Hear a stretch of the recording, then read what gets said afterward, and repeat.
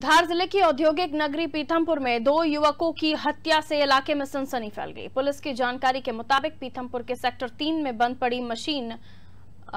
माफ़ कीजिए। पीथमपुर के सेक्टर तीन में बंद पड़ी मिशन फार्मा दवाई कंपनी में करीब सात युवक चोरी की नियत से घुसे थे, जिन्हें सिक्योरिटी गार्ड ने पकड़ लिया और पिटाई कर दी, जिसमें दो युवकों की मौत हो गई है। वहीं पुलिस का कहना है कि पूरे मामले में साक्ष्य जुटाए जा रहे हैं और जल्दी ही मामले को सुलझा लिया जाएगा। फ़िलहाल पुलिस ने सुरक्षा कर्मियों को भी गिरफ़्तार कर लिया है।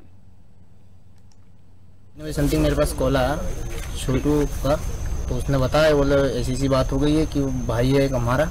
हाँ। छोटा भाई बोले वो उसकी डेथ हो गई है। अच्छा।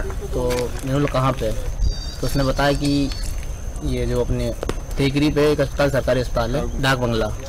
तो वहाँ पे मैं गया वहाँ पे मैंने पूछा मैंने क्या हुआ था? तो उन्होंने बताया कि ये पाँच लोग थे जिसमें से ये लोग चोरी करने गए थे। तो वहाँ के गार्ड थे तो जिसमें तीन लोग भग गए थे दो लोगों को पकड़ लिया था गार्ड ने। तो गार्ड ने पकड़ा तो उन लोगों को मारा। एक परिचित था तो उसने कॉल करा छोटू को बोला कि इसको जानते हो क्या आप? उसने बोला हाँ मेरा भाई है छोटा।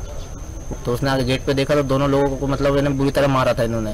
प्रथम दृष्टा देखने में समझ में आया है कि ये पाँच सात लड़के जो है एक फैक्ट्री में घुसे थे चोरी करने के लिए और गार्ड द्वारा उनको उनमें से दो लड़कों को पकड़ा गया। पकड़ने के बाद उनकी मार पिटाई की जिसमें दो लोगों की डेथ हो गई है। अभी पुलिस प्रकरण की विवेचना कर रही है और आगे जिस हिसाब से फैक्ट्स आएँगे उस हिसाब से कार्रवाई की जाएगी। तीनों